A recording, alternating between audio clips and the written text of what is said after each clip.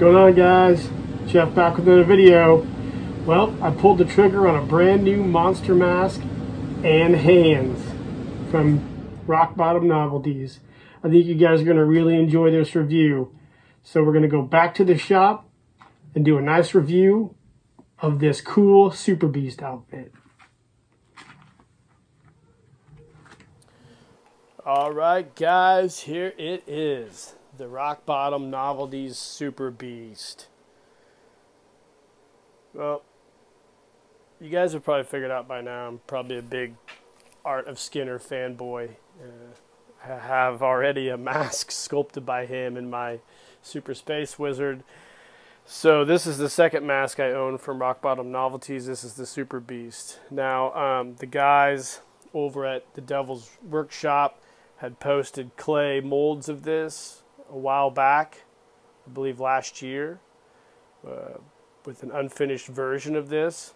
Um, so this is a pretty rad mask. I was I was excited when they announced that they were going to do this, and uh, yeah, it was a no-brainer when this dropped a few weeks ago um, for for order on their site. I went ahead and ordered that up. I think this, the mask itself retails for around $79.99 and the hands retail for $39.99. Uh, the same price as the old uh, Super Space Wizard. Now the mask is made by obviously Rock Bottom Novelties.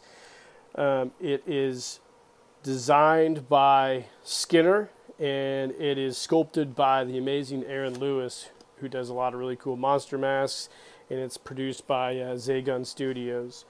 So with the mask, you get the really cool, it comes with a really cool poly bag with this cool art card, you know, stapled.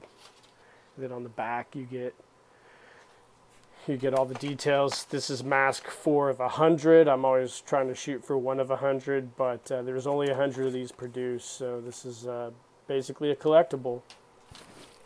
The super hands, or the super hands, I guess, yeah, they're called.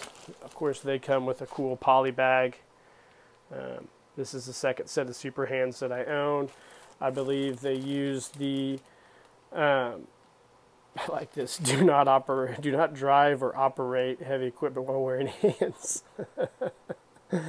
yeah, you gotta put some, you gotta put some uh, warnings on these. So anyways, cool packaging. I really like that. the mask itself is super dope. Um, get something to point it out here.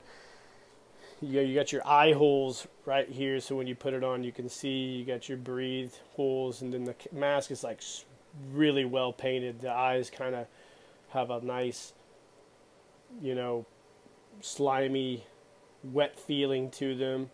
Um, the whole sculpt is really, really cool. It's a one-piece mask sculpt. It has the fur sewn on back. Uh, I always like to look at this stuff because since I make my own cryptid and creatures, I always like to see how other people do their fur so maybe I can improve on my design. Um, get a close up of those eyes for you.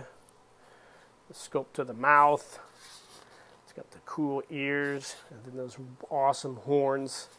And of course the back is just uh, fur that fits over your head. It's a super simple mask. It's, uh, it's something that you would probably see back in the 1980s at your drugstore or your Kmart or whatever uh, when, the, when they used to make really good Halloween masks for kids. I had a lot of werewolf masks. I'm a big werewolf fan, by the way. Um, the hands are really cool. They're very similar to the other hands that I have for my Space Wizard. I, I, don't. I'd have to get those out and look, but I'm pretty sure they just use the same latex mold and just do different paint decos of them. So you get the cool super hands with the red fur that matches the mask. One thing I learned with these masks, and if you guys are familiar with Halloween or monster masks, you get really, really hot in these things when you're when you're when you're active when I wore my Super Space Wizard at Halloween, I got super hot. I was like basically pouring sweat out of the hands, and uh, I'm like, oh, this isn't good at all. So, I only wear these for a few minutes at a time. I chase my son around the house with this on, and sometimes he chases me. So we have a lot of fun with these masks. It's one of my things I'm trying to do as a parent is get my son interested in different um, art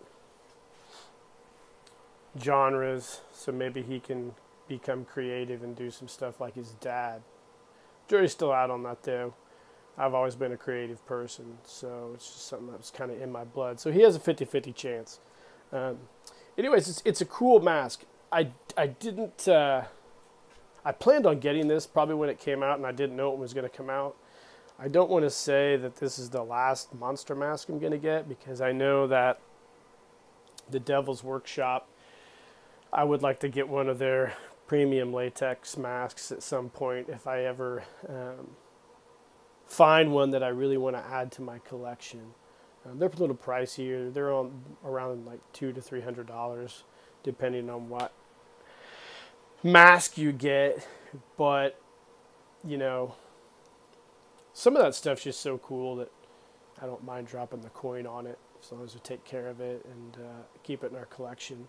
You know, it'll have some kind of value later on in life for us, and it'll also be a really good talking piece, which I think this is too. I just got to figure out now how I'm going to incorporate this into Halloween this year. So uh, the Wizard of Candy might have to be played by somebody else, and I might be scaring people with the Super Beast mask and gloves on.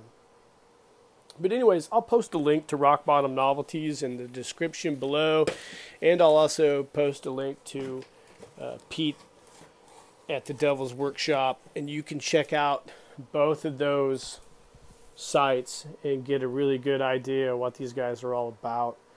Um, I am a member of the the Monster Club at Devil's Workshop. I bought a uh, Shrunken Head, which you probably saw in the Footsteps of Giants it's one of my favorite things that, that Pete does at the Devil's Workshop. I wish he'd do more shrunken heads. But um, this is the second mask I own from Rock Bottom Novelties, like I said, along with the Space Wizard. And I did win the Golden Skolo uh, this past year for Halloween for taking a picture with me and my son, which was really, really cool. I love to win things. And uh, other than that, this is just a cool mask. I just wanted to share this with you guys.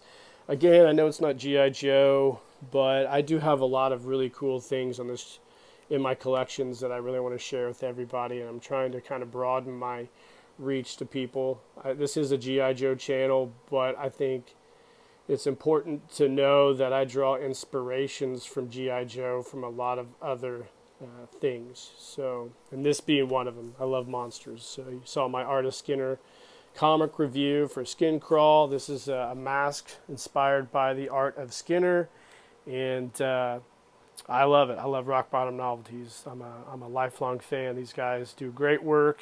Uh, they do great sculpts. The masks are cool and affordable, and I love having them in my collection.